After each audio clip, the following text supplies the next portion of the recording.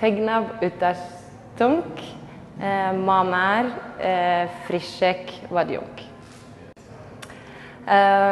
Nadjan Ørløk hodnjertunk, nem volt könjumatch, det skikker ut.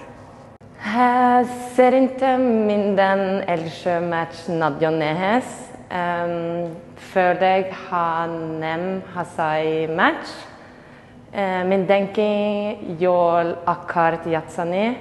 Um, Voldokok vadjong a match utan. Uh, a skiofok nem ros chapat. Uh, det jobban akarunk vedekesni. Så var kesulni for gunkra.